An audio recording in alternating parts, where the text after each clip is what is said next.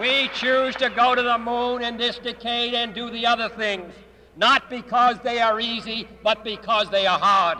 10, 9, ignition sequence starts. 6, 5, 4, 3, 2, 1, 0. All engine running.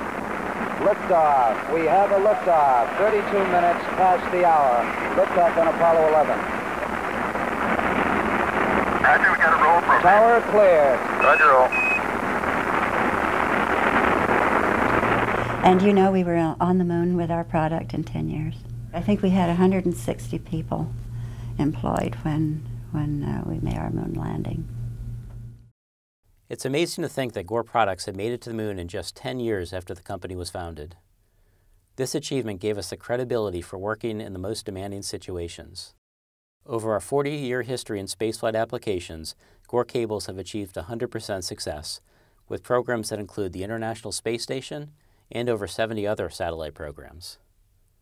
For example, we've supported many of the modules on the International Space Station, such as the Columbus module, which is the most sophisticated science lab on the station, and the Automated Transfer Vehicle, which is like an unpiloted cargo ship that carries supplies to and from the station.